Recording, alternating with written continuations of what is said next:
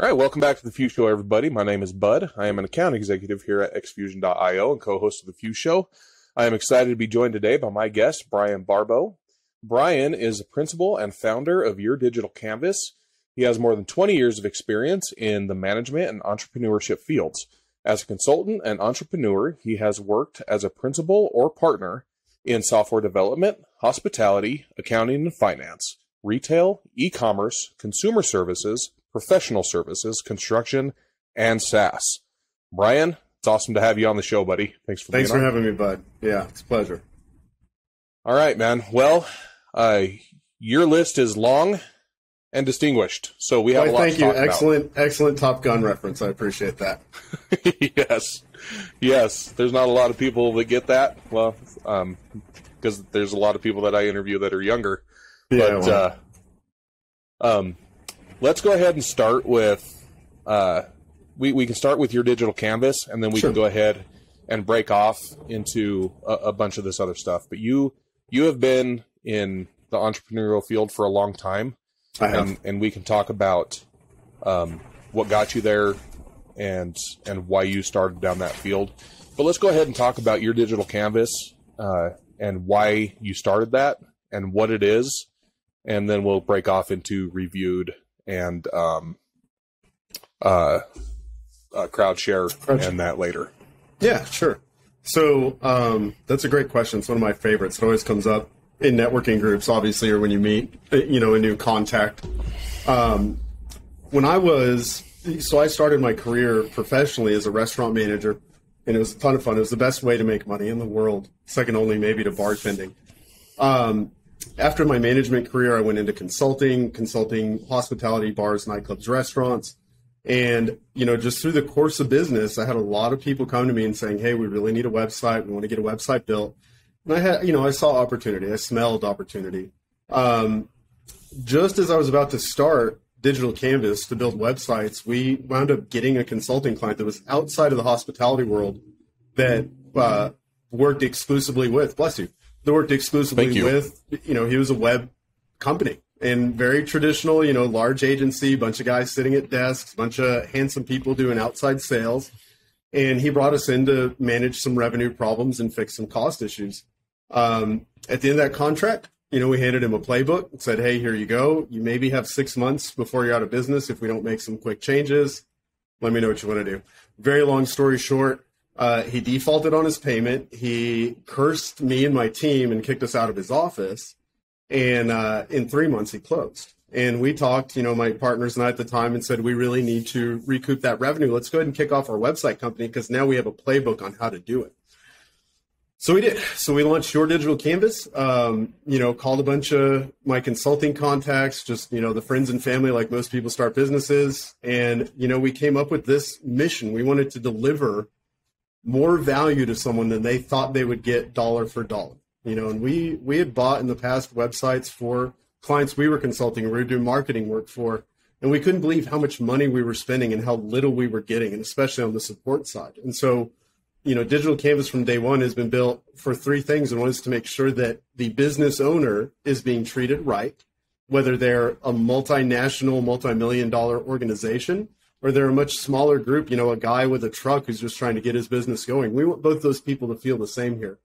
And two is we want to deliver value that's insane. And we often hear that. We have clients tell us, are you sure that's what you do? Oh yeah, that the contract is correct. Everything that's in there is real. And then they go, for that price. And we go, yes, yes, for that price. That's absolutely right.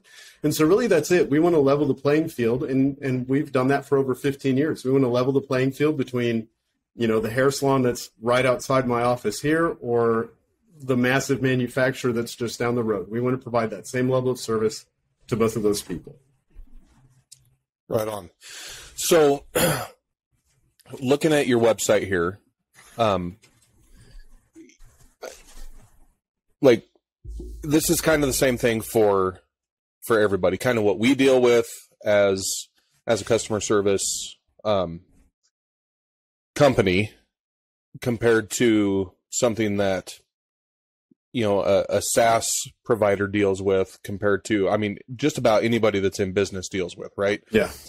Like you one of your examples here is is you had eight different software services that you were using, um, but you weren't using the full gamut of all those Right. software services, right? Right.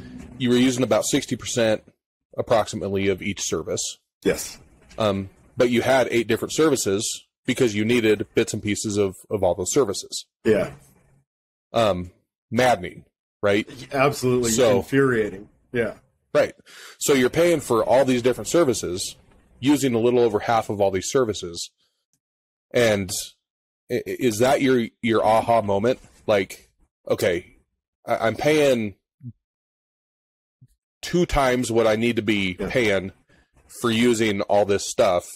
I can build this myself, and I can help all these different companies do the same thing.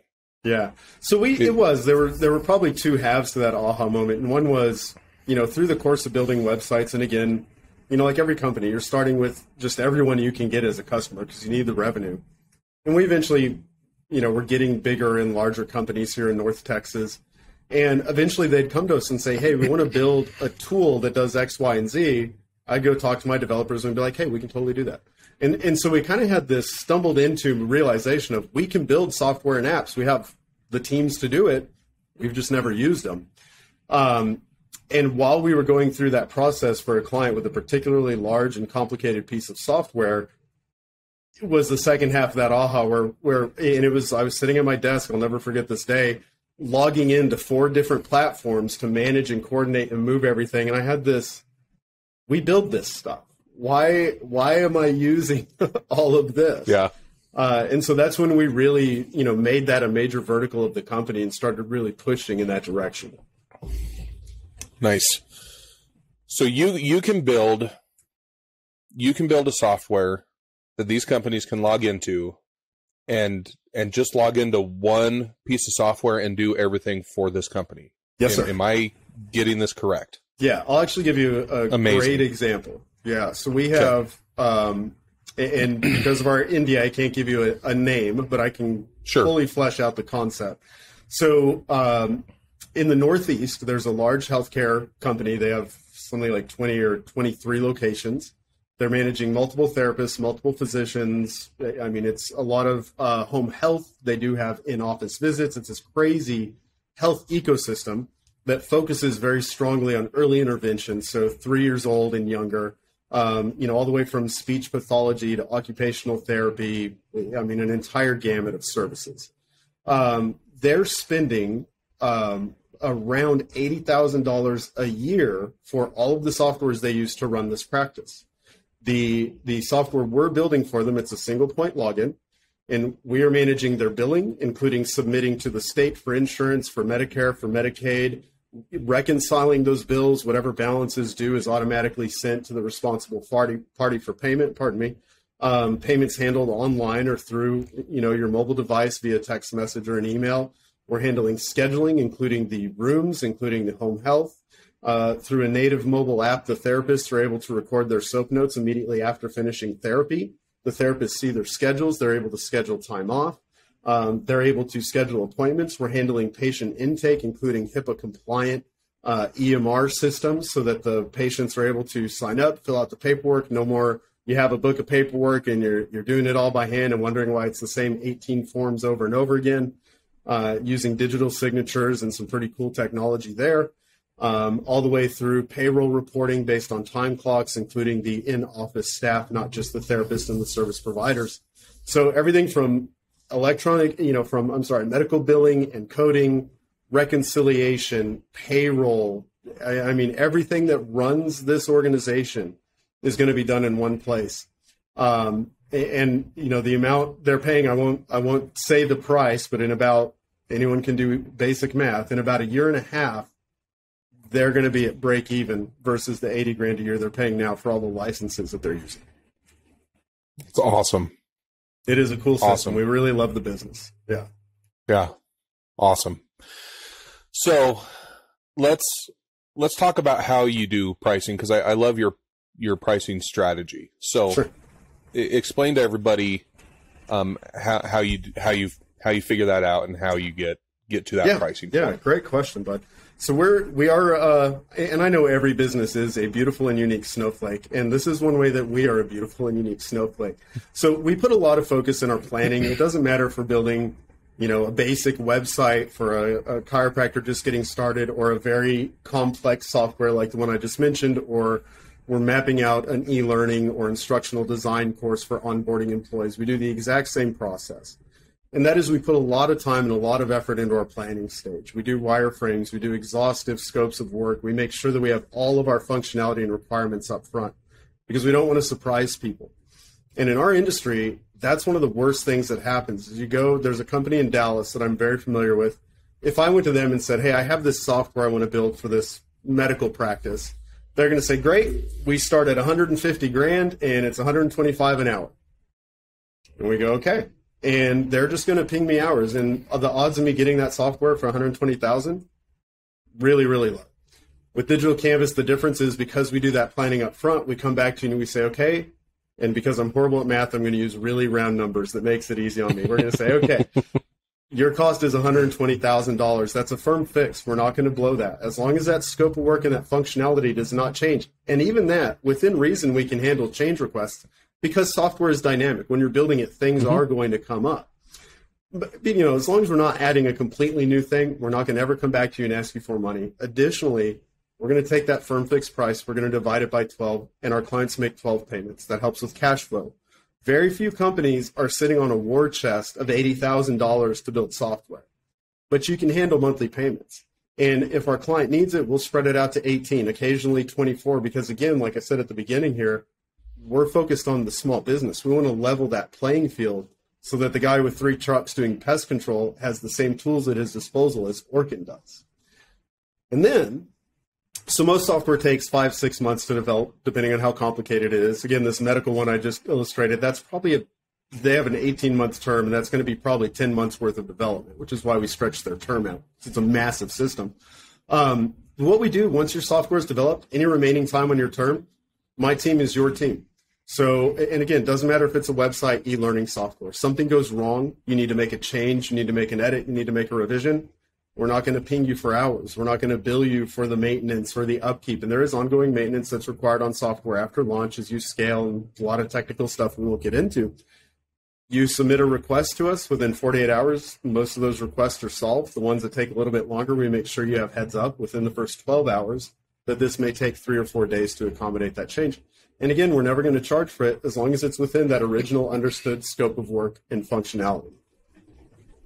Nice. That's that's how how big is your team in order to be able to make that work? So we have on the development side alone, just on the programmer side, we're running 42 developers. Um, I have five wow. designers and artists, and I have uh, three project managers. Wow! So mid-size. Good for you. Yeah, I don't know what that answer is. Yeah. No, I mean that's it's a good team. You know, yeah. it is a good team. It is a good team. I, I joke that um, I have a small army.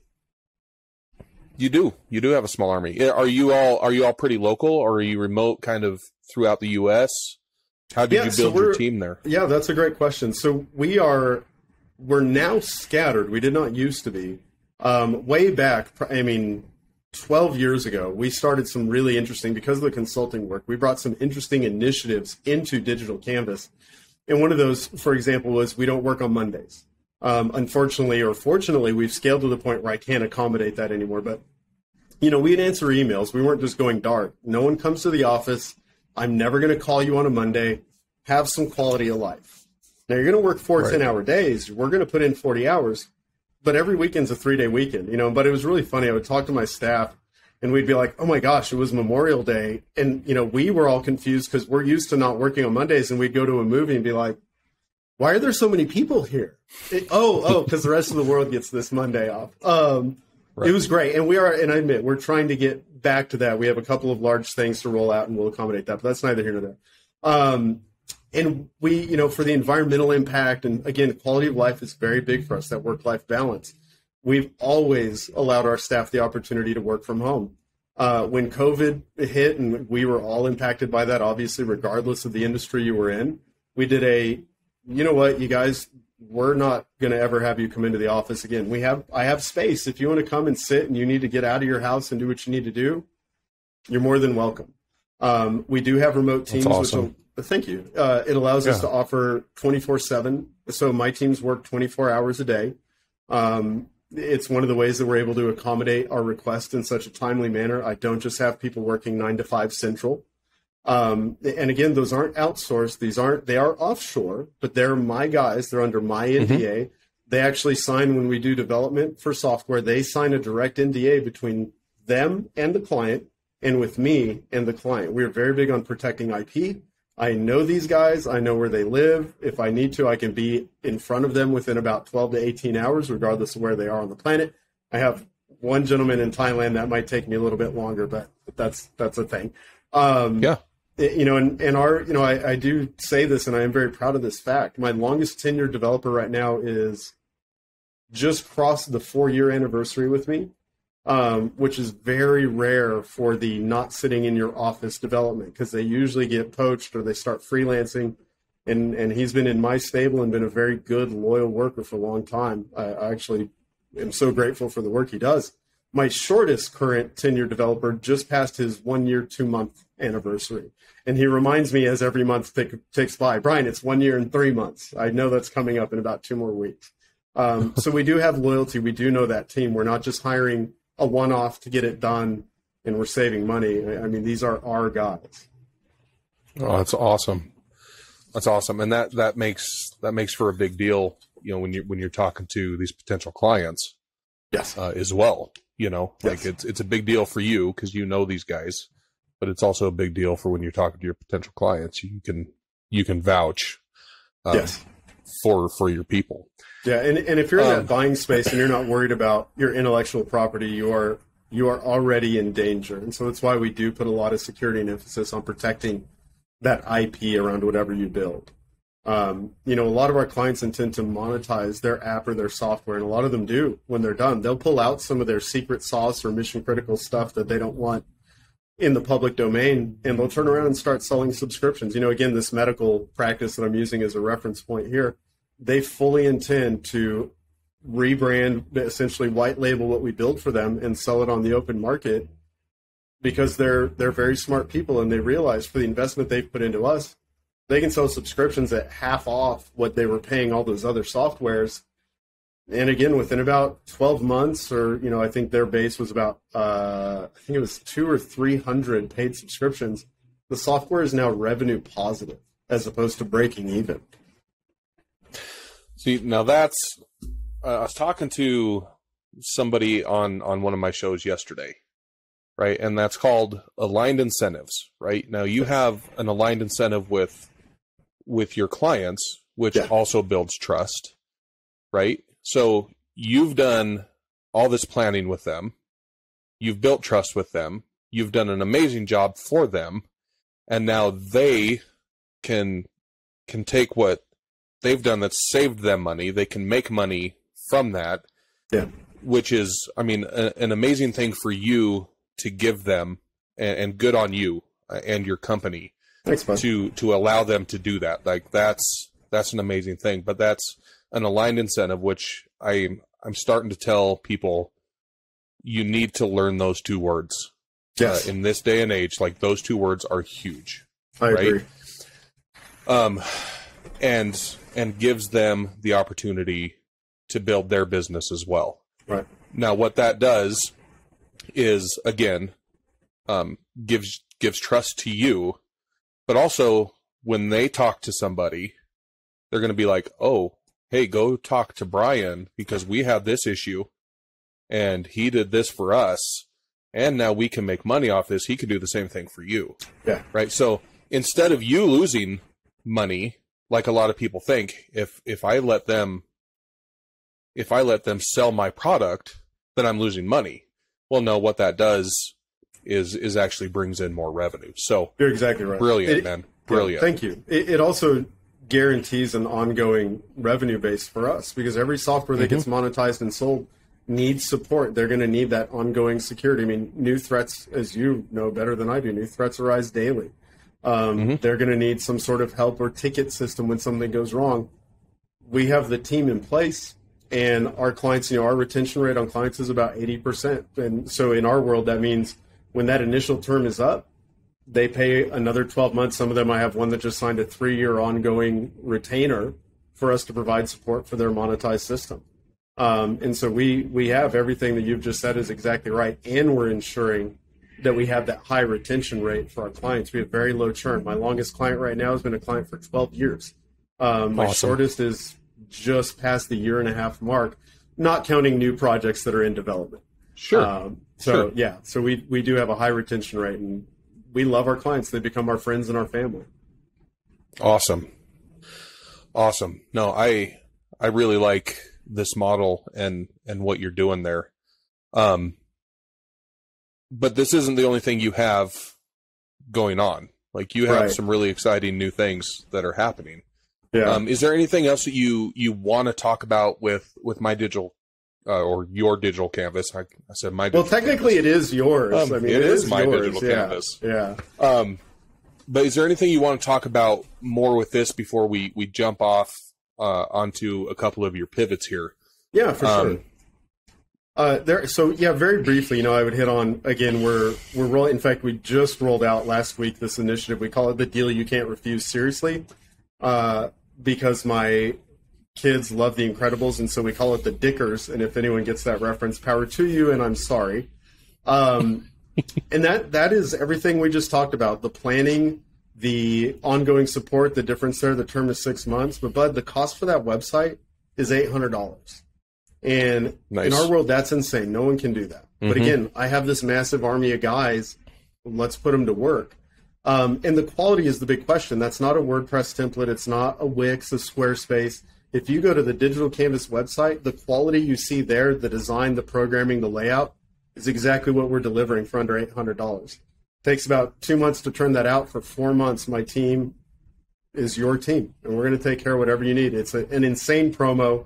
Uh, it's a, definitely a loss leader. My finance guy was foaming at the mouth as I was kind of going, "No, we're going to do this," um, mm-hmm. but you know, it'll work. And then the other thing, the one that really, you know, beyond the other two pivot points that really excites me right now, we're just now launching the vertical for, and I've mentioned it earlier, uh, e-learning instructional design. And whether that's we're bringing the same method, the same system, it's eight thousand dollars per learning hour, which is about twenty percent below market. Right now, the market's about eighty five hundred to thirteen thousand per learning hour. And that's are you onboarding staff? Are you an insurance agent and you need to educate your people to get their certs their new people to get certified? Are you a restaurant and you need to do food handlers or your policy and procedure?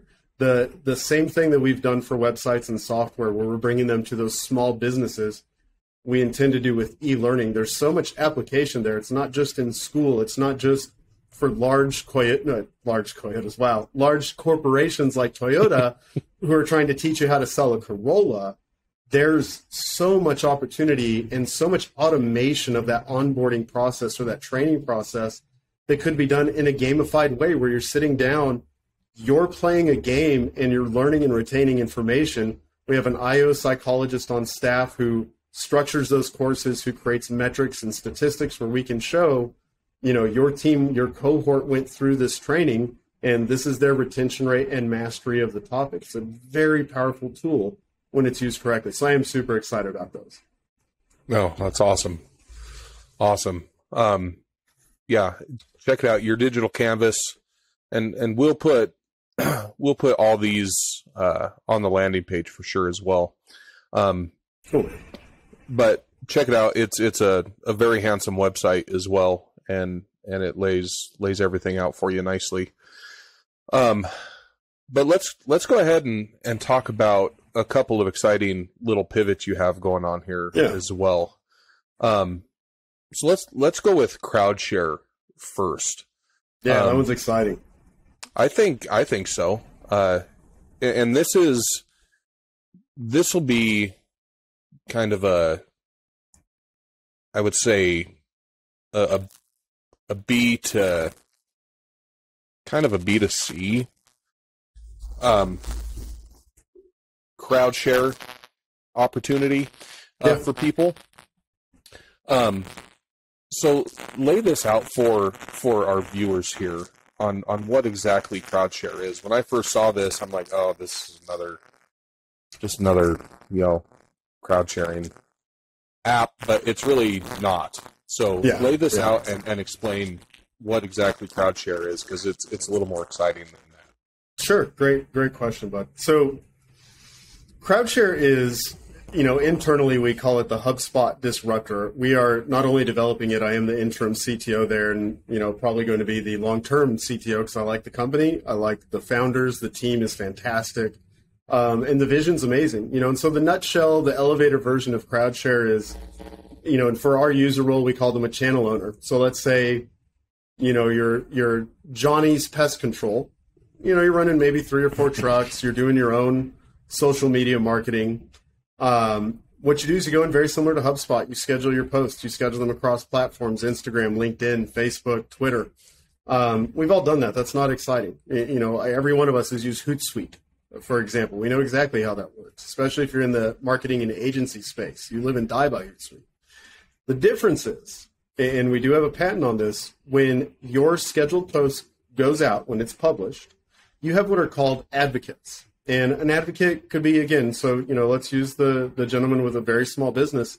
His advocates are going to be his wife, his kids, his friends, the people at church. They sign up through the app. It's very simple. They put in a one-time code. They're connected to that channel. When that post is published, they receive a notification. They tap the notification on their phone. It opens up the app. They select what platforms they want to share that original post to, and it is published. And as anyone who works in this space knows, that organic reach, that organic share on social media blows you up through the algorithm. Um, we're not, it's not a bot. We can't automate sharing. There's a lot of reasons behind that, one of which is just unethical and horrible.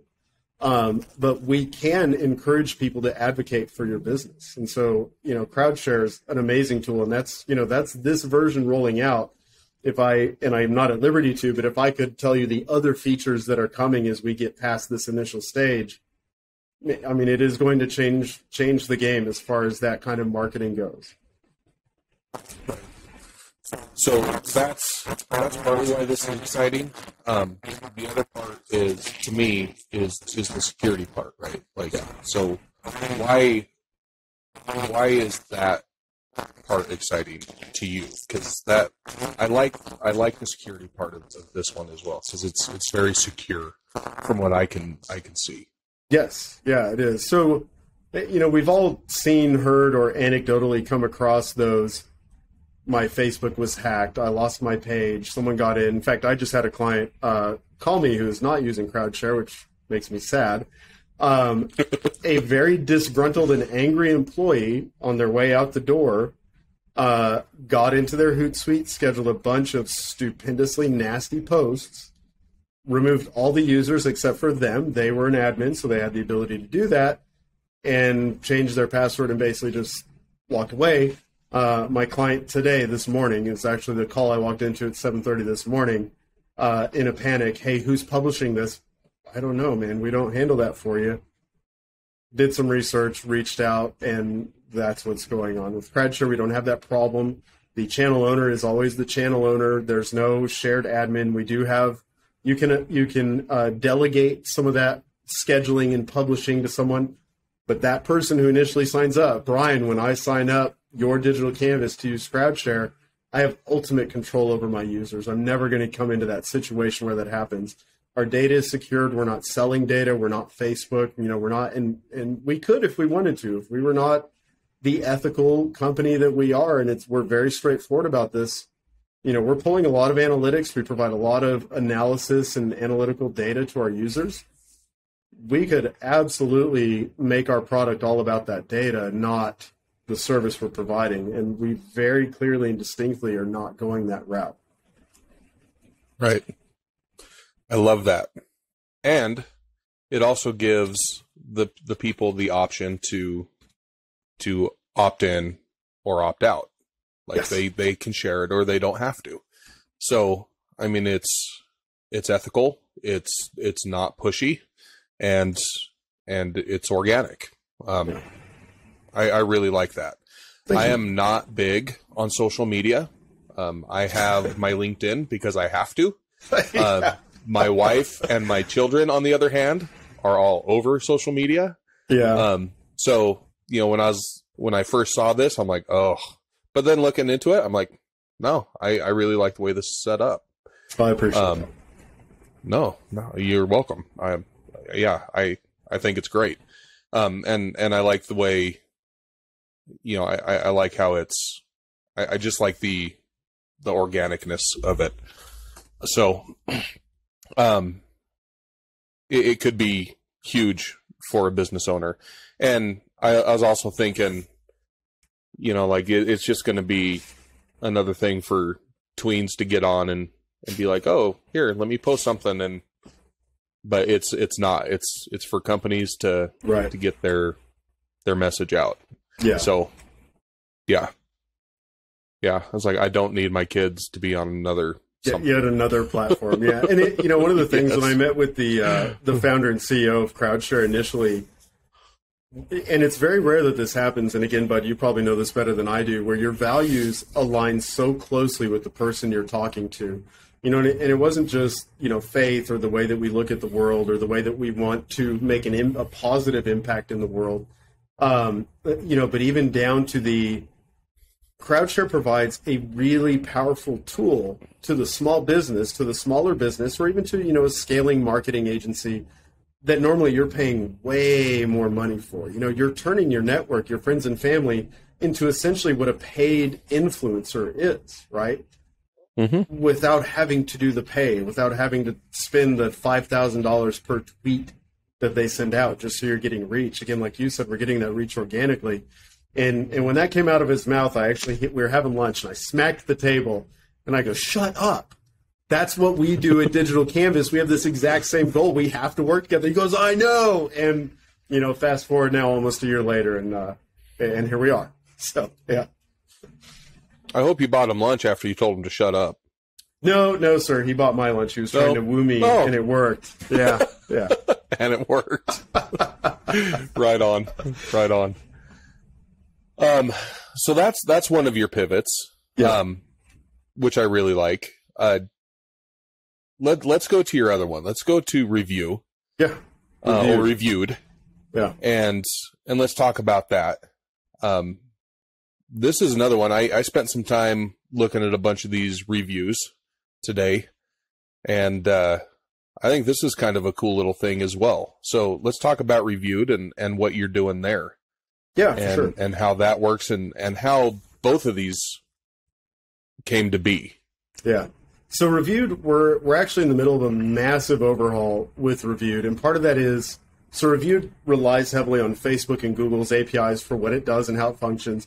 Both of those entities have dramatically changed the way their APIs work. So reviewed is being, I mean, upgraded literally as we speak uh, to bring us back into the good graces of our large digital overlords.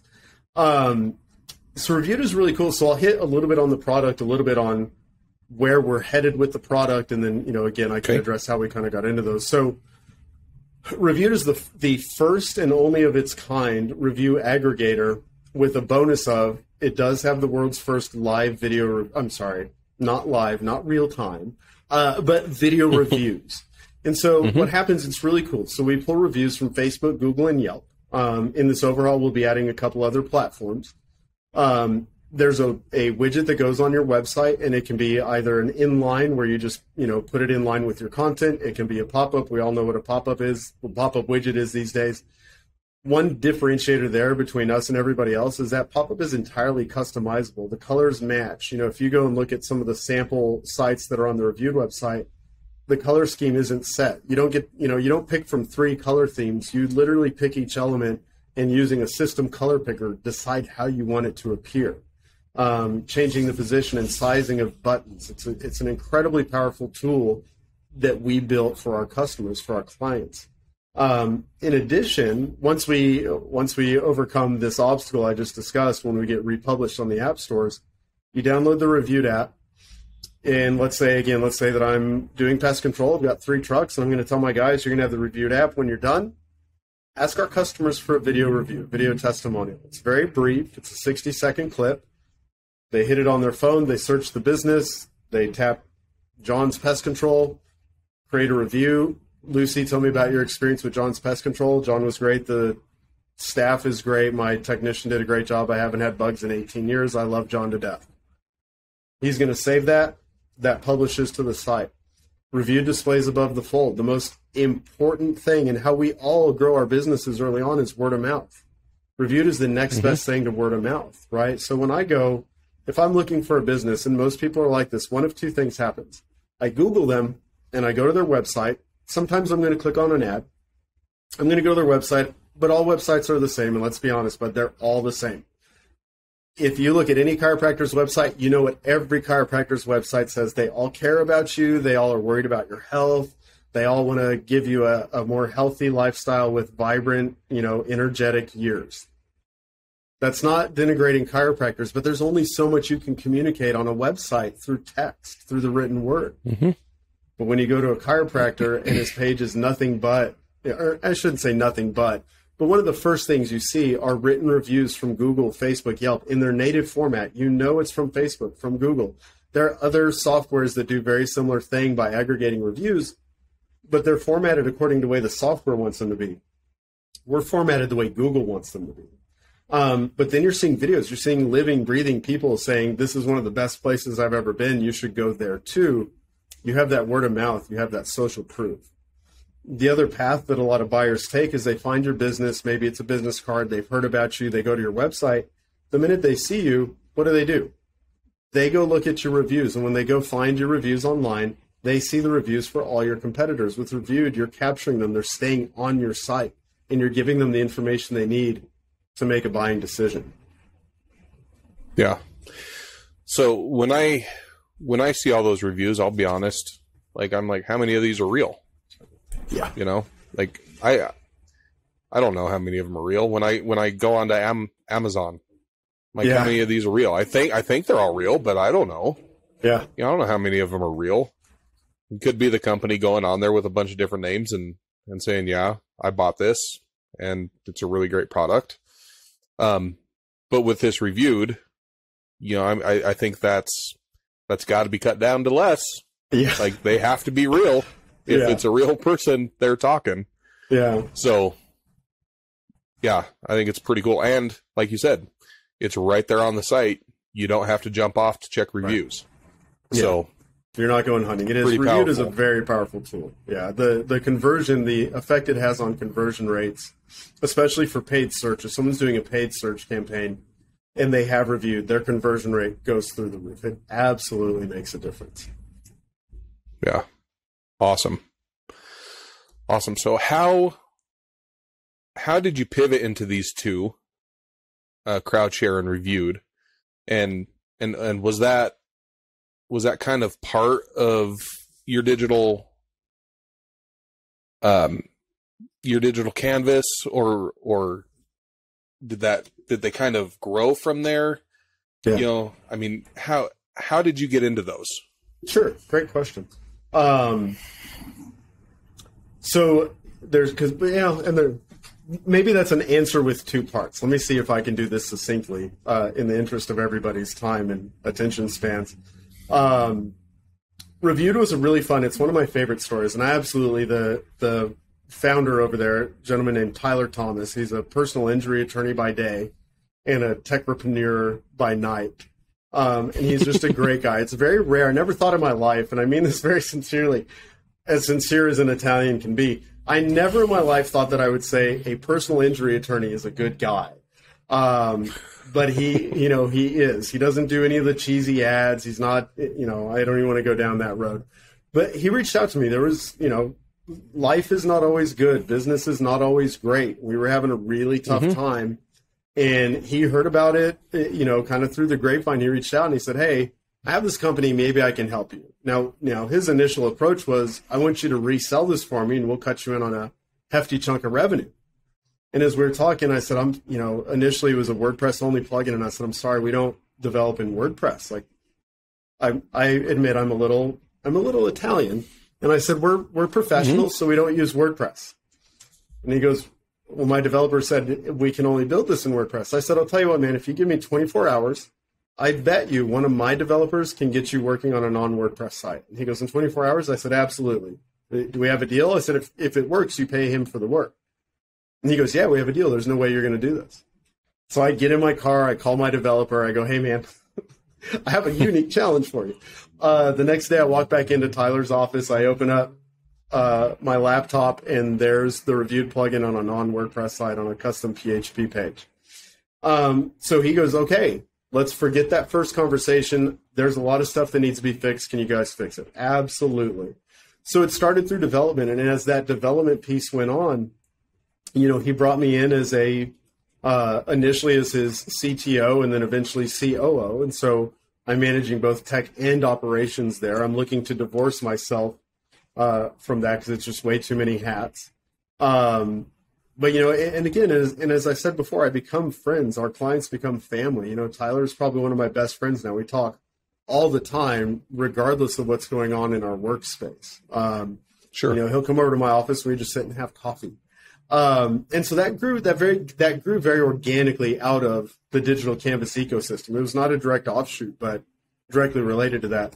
Um, you know, CrowdShare very similar. Um, the founder there, Lane Gregory, great, great guy, excellent pitmaster, by the way. But if you're ever down here, we'll go hang out with Lane, and you'll have some amazing Texas barbecue.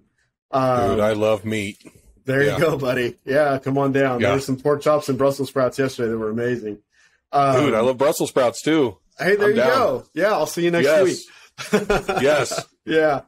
So, uh, so you know, Lane and I got connected, and it was this. I have this thing, and it's not. It wasn't put together very well. What do we do? And I said, well, you know, we fix it. What do we need to do? Um, and you know, over the course of developing trust and kind of working on that again, you know, here's an equity deal. Let's have you act as CTO because no one in leadership has that ability and I do, and this is not a humble brag, it's a statement of fact. Because of my entrepreneurial experience, I, I have the tech background, I know it, and I tell people I'm kind of an idiot and I couldn't program my way out of a paper sack. I'm not a programmer. Uh, but I can mm-hmm. manage and I can lead and I can spot talent and I can train. And I have, you know, I've been in and out of, I think I'm well over 20 companies now, over 25 years of doing this work.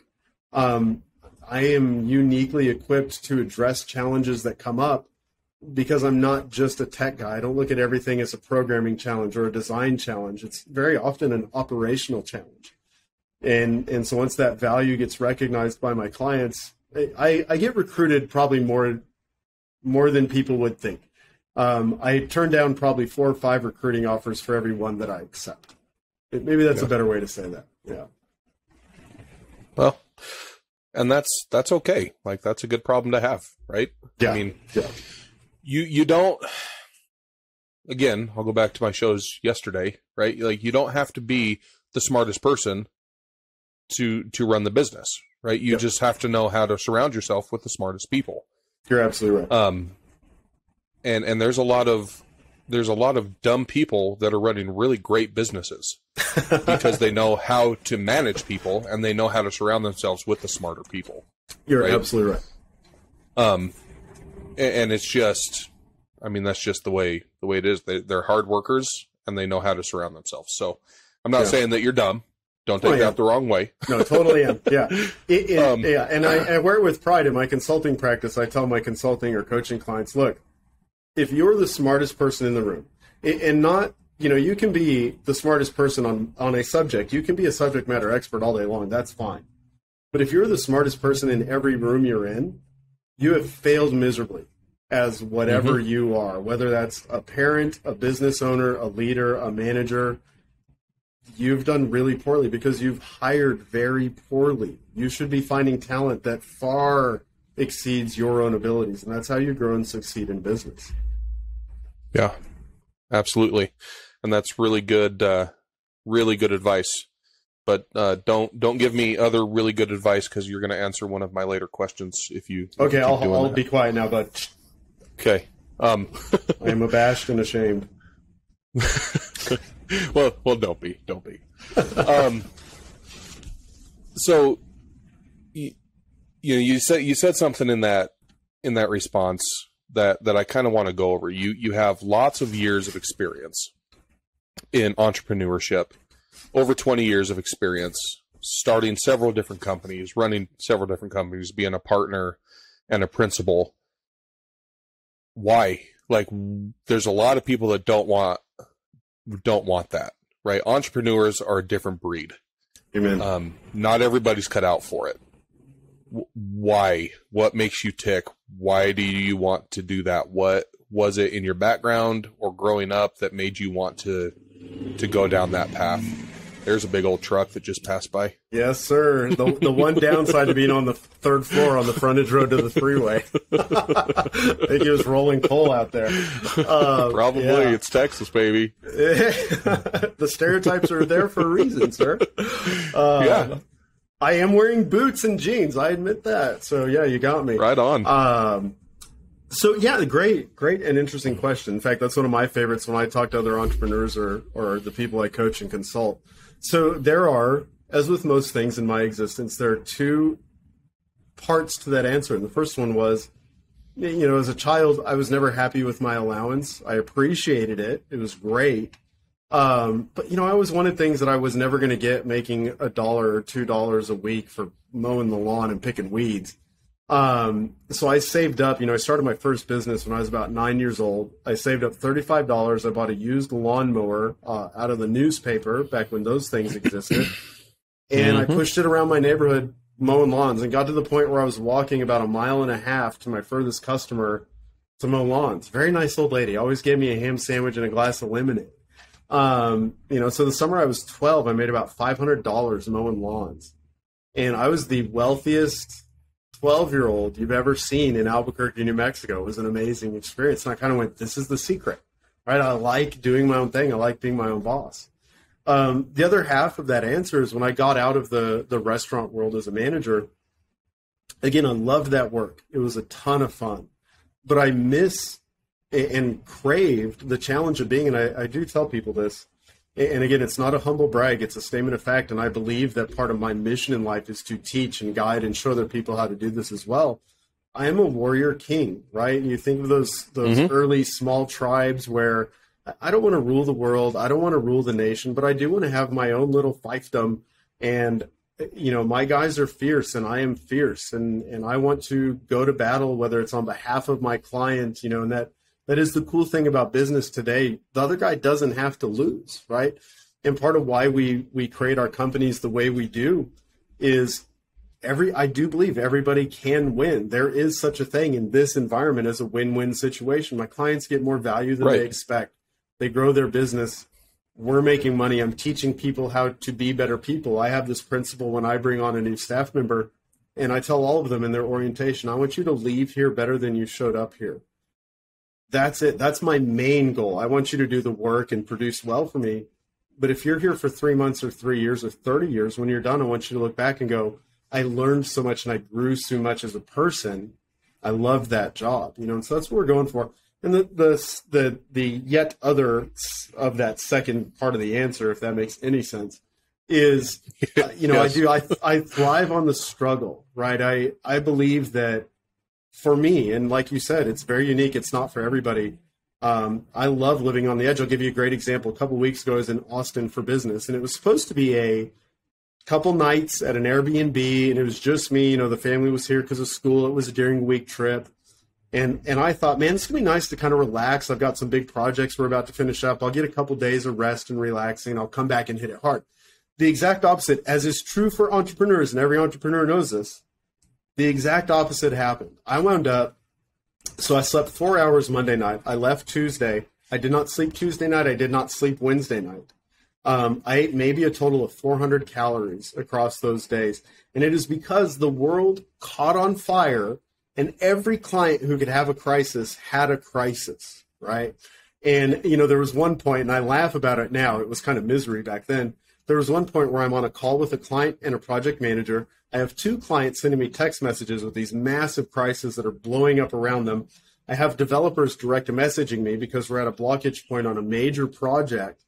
Everything is on fire and burning down, but we get, I get out of that that crisis moment, which lasted about ten minutes. But again, no sleep because the world is just on fire for this particular forty eight hour stretch. And there's this point. It's three in the morning, and I'm pacing. And thank goodness I was at an Airbnb. If I was in a hotel, I probably would have gone insane. Um, I'm pacing the floor. I'm thinking through. I'm strategizing how we're going to solve some issues.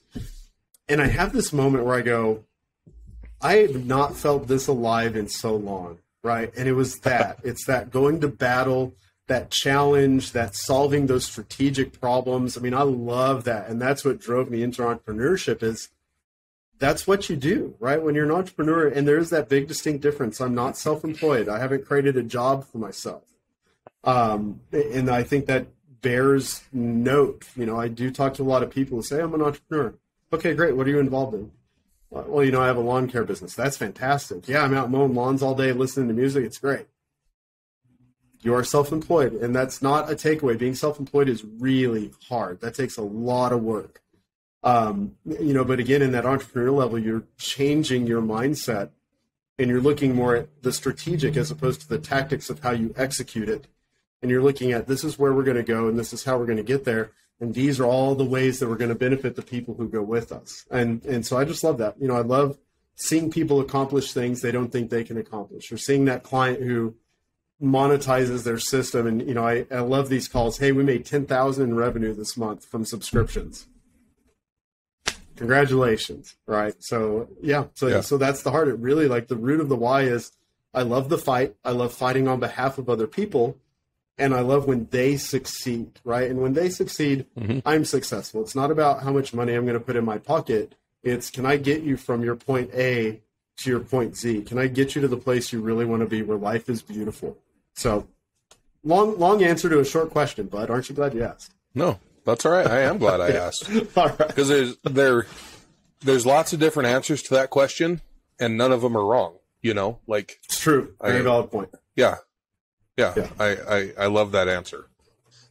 Um, so you have so many coals in the fire all, all the time, um, and that was apparent with that that last answer right? Sure. Like you, you went down there, you were excited to kind of relax a little bit. You never did get to relax. no, um, by I have the way, yet to do that. When you were doing that, I was down in San Antonio with my wife. My wife was at a, a little pastors conference. I went down with her, and we were we were at the Alamo, um, you know, kind of chilling and relaxing while you were, you know, kind of going through hell.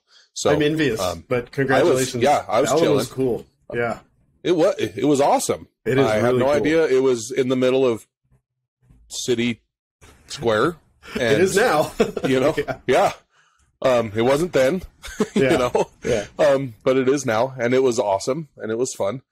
Um, yeah, yeah, it was. Did you, I'm sure it was going somewhere. Alamo was kind of creepy. Did you did you get a little bit of like? Because I know I did. I've been there three or four times, and there's this very like creepy is the wrong word, but when you know the story and you understand what actually took place there, and it is very odd because you walk out and you're like, well, there's the rest of San Antonio, and I'm going to go to McDonald's and get a hamburger.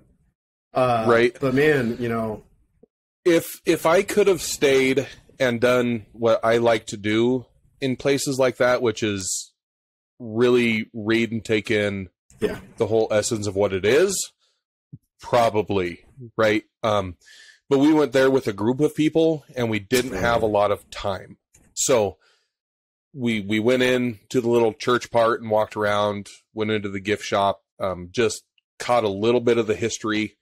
But I if if I had my druthers, I would have spent probably about three or four hours there yeah. reading all the plaques, really taking in what it was all about.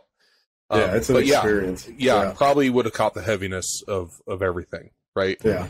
Um, I I had a good idea of what the Alamo was. My wife had zero idea right? I mean, she she knew that people died, um, but that's really all she knew. She had no idea that there was a battle between Texas and Mexico. Like that was all new to her.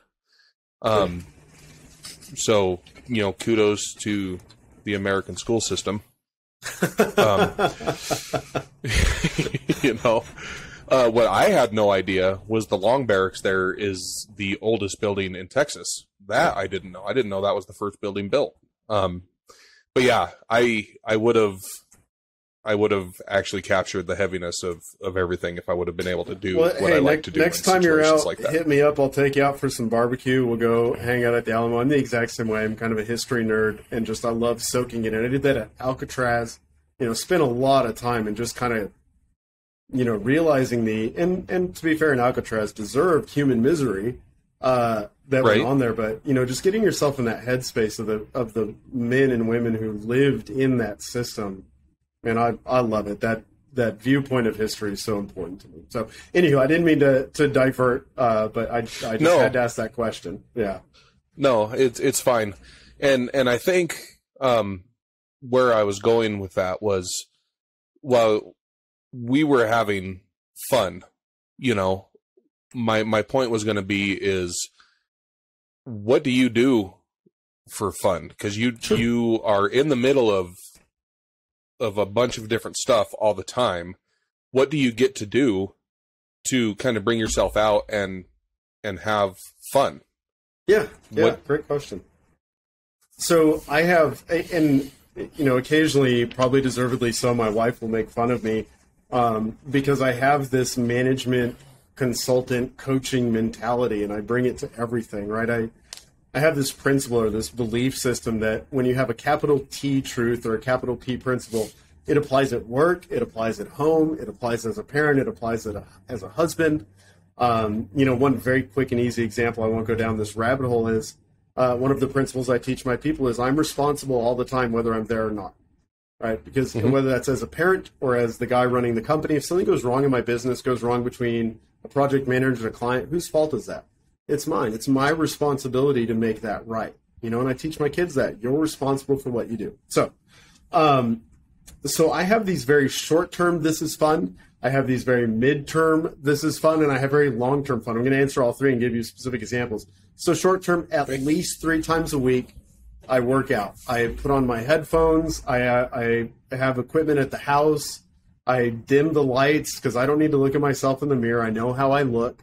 Um, and I just release the tension and the frustration of the day. You know, and depending on how my wife will tease me and say, I know how hard work is based on how jacked you look throughout the week. You know, because during a hard time, I'm working out five, six, seven times a week, just trying to get that stress and frustration out. Um, and I, I mean, I love it. It's a great release. It's a great way to get out all of that in a very safe and contained way, as opposed to, and I'm not knocking this, but before I developed that as a habit or release, you know, I'd stay at work a little bit late, have a couple drinks, then go home and think that everything was good because suddenly I'm in a good mood. Well, as soon as the alcohol wears off, I'm in a bad mood. Uh, Mhm. And all the stress is still there, but there's something about that physical release of exercise that just gets it out um, every night, minimum of six nights a week. You know, that seventh is, is Sunday, which is just I need to rest and recuperate. I go out and I walk my neighborhood for an hour and I just have that peace and that quiet. You know, I get away. There's examples uh, of, of very wise, much wiser than me in the past, men who would step away from the noise of life and spend time in quiet contemplation. It's very hard for us to do in this day and age because we always have a computer in our hands. We always have screens and noise. And when you're a husband and a father or a wife and a mother, you're always going to have people demanding your attention. And so physically removing myself from the house and just walking around dark streets at night. Occasionally I'll take the dog uh, if he's being very well behaved that day.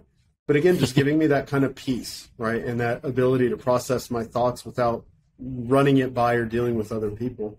And then in the midterm, you know, I take, we used to call them in the old days uh, with my company, we call them out weeks. An out week is where you just can't work out of the office. You still work. It's very similar to the we don't work on Mondays piece. Um, you know, and so the last one I, I posted up at three different Paneras through the week. And it was great. You change your viewpoint, you change the way you see things. Um, Panera is one of my favorites, not because I eat any of the food, but you order me a Diet Coke and a cup of coffee, and I can sit there and drink it all day long, and the internet works, and I get to people watch. I come up with some of my most interesting ideas just watching people interact at Panera. Um, and then in the long term, which again, Austin was supposed to be but fell apart, about once a quarter, sometimes once every, you know, seven, eight weeks, I go out of town for a one or a two night stay. And it's not, I'm not trying to get away from my family. I love my family. In fact, I always feel bad when I'm leaving them. But that concentrated downtime where I'm able to really dive into things. And again, I'm not leaving my job. I'm still executing. I'm still doing the things that I need for my company to run. Um, but I do, you know, I tell my clients, I tell my guys, I tell my managers, I'm going to be stepping out for a little bit. If the world is on fire, get a hold of me. We've seen that happen. But if mm-hmm. if things aren't burning down and no one's bleeding, just leave me alone and give me some space. And that's where I get to brainstorm. I get to think through. You know, there's this principle: you can think and you can do. You can't do both at the same time. And so I have to very carefully and very purposefully give myself room to think, room to process what's happening. And I know none of that sounds fun, but it always turns into fun, right? So we take the family vacations. Um, I do enjoy walking the dog. Working out is very fun for me. I love taking my wife out every two weeks. Religiously, we have a date night. I'm a firm believer in you need to constantly date your spouse. And it's not just take her out to dinner and a movie.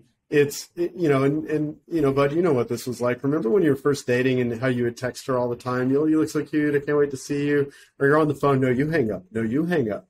Um, you know we still do that. Or she used to show up and surprise me at work when i was in the restaurant business. She literally right before this uh, showed up at work and surprised me and we sat and ate lunch and she gave me hugs and kisses and you know sat on the couch and then you know she left and and so we we've kept that dating energy going and and that's a ton of fun, right? Or uh, mm-hmm. setting aside dates with my kids. I take my eight-year-old daughter on dates pretty consistently. I want her to see what that's supposed to be like. My my son, he's four. He says we go on dates. His version of a date is sitting in the back of my pickup truck because it is Texas. And again, the stereotypes right. exist for a reason. Uh, but we'll right. sit in the back of the pickup truck and and he, you know, drinks some water and I drink some water and we listen to music and we just wherever we're parked, we just watch the world go by and he loves that quality time. So you know, beyond that, hobbies. I read a lot. I love music. I listen to music. I draw poorly. I paint horribly. I'm an excellent cook. I owned an Italian restaurant for a while. I'm a fantastic cook, and and that's what I do with my life. That's what I fill my time with when I'm not working. Nice. I love that. That's the longest answer I've ever gotten, and I love it. Love yeah, it. sorry. And you know, Italian, the hands are moving. Everywhere. Don't be sorry. Don't be sorry. um, I, I love it. So when I was working at the prison, I worked out all the time. Uh, yeah. I, I, was on the emergency response team, and I, I really needed to. Oh wow! You know, to work out, and and I I got hurt, and I stopped working out when I when I left the prison. But I then I worked in the oil field, and I really didn't need to work out because I, I mean that was a constant workout. That is right? a workout. Yes. Um. So then I, I lost my job with COVID uh, in you know, left the oil field because I got COVID fired and I was I was out of work for 15 months and then I got this job and I haven't worked out for well a couple years and then I've just been sitting around and I'm like I have got to get back working out but I really kind of don't want to. Why but do you at the same time to? I'm like I really need to because I know I know it's going to hurt again. you know. And that's really yeah. I'm just being lazy. Yeah. But I feel so good when I do. Yeah. But I'm just like, oh, I I actually got up and did a few push-ups this morning, and I'm like, oh my gosh, I'm man. so out of shape. It's so bad, it hurts. Well, you know, so you know I just cool I just need to get back and do her. Yeah, the the cool part about that, I had a, I mean, I've been, I was a wrestler in high school. I've been working out, you know, and, and not effectively. I'll admit that for a large portion of my life. I had a massive shoulder injury because I'm dumb sometimes, and it was a really stupid accident. I hurt my shoulder. Couldn't work out for a couple years. And very much like you, I didn't want to. I just I didn't want to go back, and mine was partly due to ego. It's like there's no way I can bench 300 anymore. I probably can't even bench like 100 pounds. And I started, and my wife, you know, heaven bless her, she's such a cheerleader um, you know, I come home after the first day back at the gym and I was legitimately depressed. You know, I like I think I benched 115 and I am just mortified. It's okay, honey, you'll get there really fast. And here's my point to you. I I regained everything I'd lost so quickly. And it actually it cemented this as a habit in my life. So I do, man. I encourage you you know, stick at it. And yeah, it's going to suck for like a month and a half, but your body oh, wants yeah. to be there because you've done it before. And man, you'll you'll blow up. I know you will. It'll be awesome. Yeah. So yeah, stick with it. The really dumb thing is, is I can't wait to hear it. Junior college here in town. Yeah, I can get a whole year's membership for 120 bucks. Bro, come on, man! It's ten bucks a month if I pay it up front. Uh, you know, yeah. hey, And and maybe and it's like it's like three blocks away know? from my house. okay, no, yeah, I was gonna try and give you an out, but no, you don't get an out for that one. But, no, it's it's all right here, man. It's all right yeah. here. Yeah. And my wife is like, just do it. You feel so good when you do, and you're so much happier. I'm like, I know, shut up. and I love you. Thank you for your advice. Yeah. Oh, phenomenal. All right. Yeah. All right. You've convinced me. I'll, I'll get her done. I'm gonna, man. I'm gonna check. I'm gonna e- email you in a couple weeks, and you better have pictures for proof, buddy. I'll hold All you accountable. That sounds good. Yeah, that sounds good. I need an accountability partner. Deal done. I'm I'm stuck in my room with this job, and I don't have that anymore. So I'll yeah. I'll hold you to that too. Deal. Because it doesn't happen if you don't have it. So N- not an empty threat. Cool. Yeah. No, that's good. That's good. Because we're we have to get connected after this so that my team can can get you the videos and all that good stuff. So it's on. You got it, buddy. Um. So we are uh over an hour into this thing, uh, which is awesome and crazy. Uh, but we should probably go ahead and and try and dock this boat here. So sure. Uh, these last these last couple of questions are questions that I ask everybody uh, that's on this show, and this is the one that I I didn't want you to answer earlier uh, with with some of your answers. Fair, but what advice would you give to founders or soon to be founders that are going to be watching this program?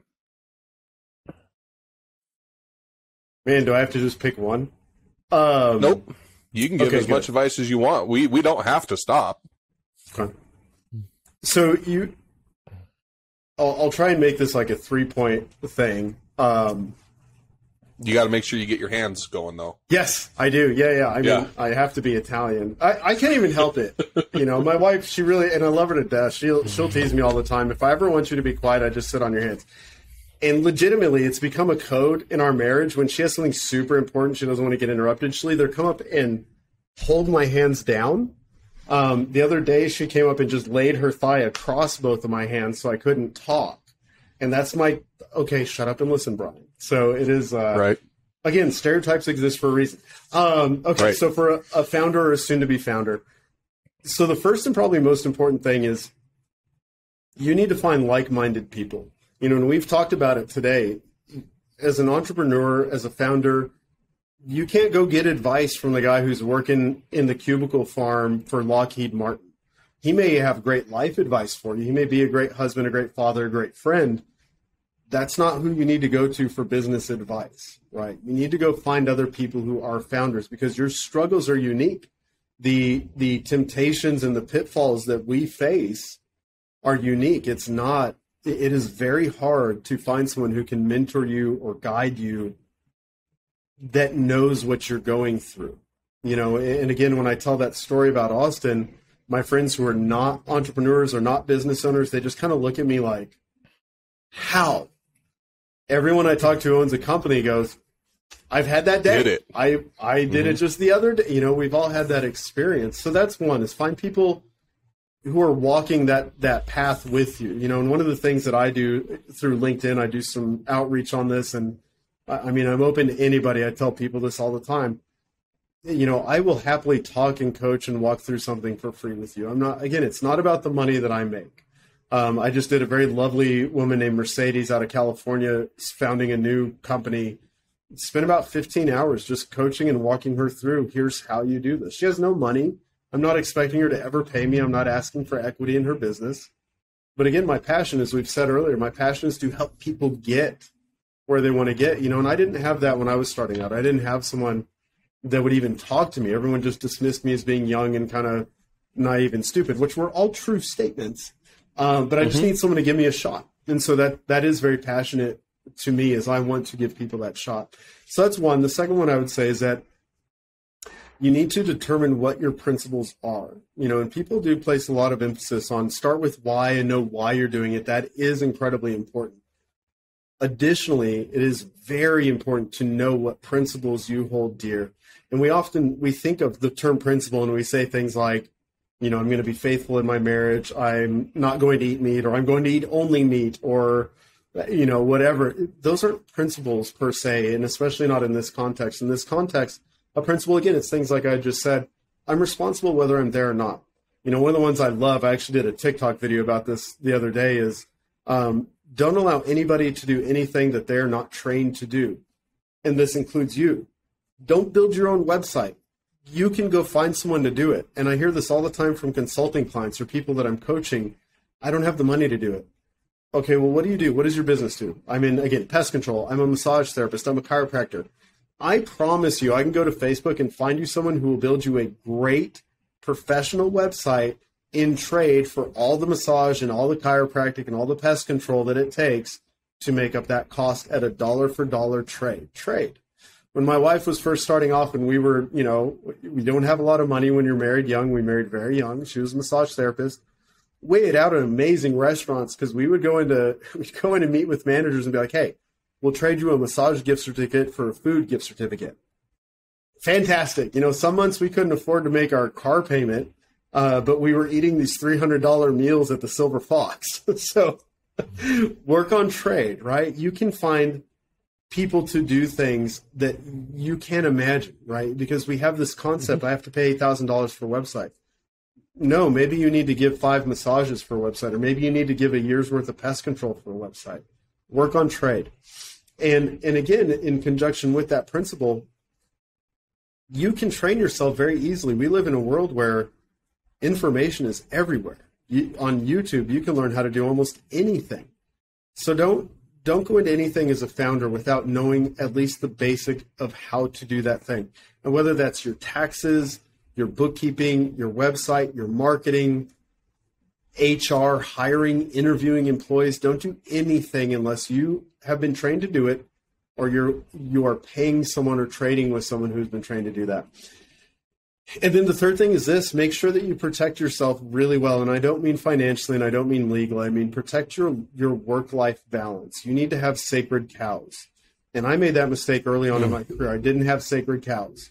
My I was working, you know, when I was consulting bars, nightclubs, restaurants, I I was working from about 10 in the morning until about five in the morning. I was running on about three, four hours of sleep. I saw my wife at 8 a.m. when I woke up to cook her breakfast and send her off to work doing massage.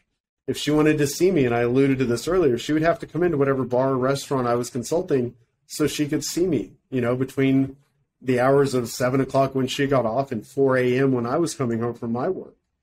And it was horrible. You know, I, I nearly cost myself my marriage, which was awful. I realized there's no way we can have a family with this schedule. And it wasn't worth the time, you know. And so I realized that my sacred cow at first was my work and it was the effort I was throwing into building my business. And I was exactly backwards. My priorities were wrong. Well, my priority needed to be, my sacred cow needed to be, and now is, is my family, is my kids. And even though I have my fingers in all these pies and I'm working like mad, come 6.30, bud, my phone goes on silent and awesome. I don't pick it up. I, I don't care. Now, there are exceptions, and just like everything in life, there are exceptions that prove the rule. Um, you know, but that this job, the battles that I fight out here, you know, we talk about chivalry. I know it's a long answer. Thanks for bearing with me. Uh, in my coaching, good. we talk about chivalry, and chivalry is misunderstood, and unfortunately, it's been maligned incorrectly. At its heart, chivalry means out here in the world where where I do business, I'm going to be like I said, that warrior king. I'm going to be fierce, and I'm going to put all of my strength and effort and talent, and I'm going to bring my army to bear for my clients when I get home, I'm going to be meek. I'm going to be mild at home. They don't need me to fight within my house. They need me to be there and provide comfort, stability, to be there. They need me to show up, right? They need me to fight out here and be gentle back there, which is the essence and the heart of chivalry. And, and once that sunk in and once I realized that, that changed that sacred cow, right? So I have this, we call it this wall around my home, and there's only one way in and one way out of that house, of that wall. It's figurative. It's a normal house. We don't live in a castle with a right. moat, uh, right. unfortunately. But you know, I again, I guard that very jealously. That time with my family is very important. Um, and that's what keeps me founded. And so I would say to someone starting off or who is kind of new in the world, you know, there are going to be times you're going to have those Austin moments where the world is burning down and you're going to put everything you have into it. At the end of the day, You're lying on the field of battle, exhausted and victorious. Those are great days. Live for those days. But man, the in and out, the day to day, you make sure that you go home and you spend quality time. If you're single, you don't have a family yet, you spend time with people you love. You hang out with your friends. You have those connections outside of work. The saddest thing that I see is when I have a consulting client and I very quickly realize part of what's happening to them is they're burned out. And it's because all their relationships are focused around the universe of their job and their career. That is not a place that any one of you want to be. So start from the beginning with nurturing and growing those relationships outside of your work ecosystem. You'll have a long shelf life and you'll go really far. Nice. I really, I really like that whole answer. So I, am glad it was a three part answer. Um, I really, I really enjoy the uh, the analogy of the the wall around the house, and there's only one way in. Um, because that's that's the way we strive to do it here too. Yeah. And um, you know, there's there's not very many people that that try and open the door to my house. Well, not not um, with you uh, in your kilt and boots standing guard out there. I definitely wouldn't cross you. Right? I'm a Texan. I'm armed, yeah. and I still would walk away from that one. I get it. Me too. Um, yeah. So, yeah, no, I get it. I love it. That's a great answer. Um, you know, in part two of of your answer, really lends itself great to the last question that I have. What is the best way for our viewers to get in touch with you if they so sure. wish? Yeah, um, you know, go through the Digital Canvas website. I freely give out my email. Um, I give out my cell phone. I won't do it here, but I will give you my email. It's very easy. It's BB, as in a BB gun, at your digital canvas. And it, yeah, uh, you know, uh, and I and I mean this very sincerely, and to everyone who's watching, and I say this all the time when I do speeches or I do public speaking, email me, and, and I again, I'm not here trying to pitch something. I'm not trying to make money. I'm not trying to grow business. Right? You need someone to talk to. You need someone to walk through something with you or help you strategize. I've got years of experience, and again, like I said before, I want to do what I wish someone had done for me reach out. I'm, you're not going to get spam. That's not like a drip campaign email. That's my legitimate. It comes right to my inbox and my phone email address. I, I'm here, open and available. I will happily get on an hour call and drink coffee with someone and talk through whatever it is that's causing them issues in their work, their life, whatever they're struggling with as a founder. So yeah, BB at your digital canvas. I look forward to hearing from you. Awesome. Awesome. Thank you for this show. Uh, yeah, I had a really you, great time. Wasn't sure the direction this one was going to go with the uh, the information that I had, and I'm really glad it went the way that it went. Like this was an awesome, awesome show. Yeah, so, it was a great uh, experience as well. Yeah. So you have a really great rest of your day uh, down thank in you, Texas. Bud. There, you uh, drink some water with your boy on your tailgate, and you got have some really great dates with your wife. And uh, we'll talk to you later.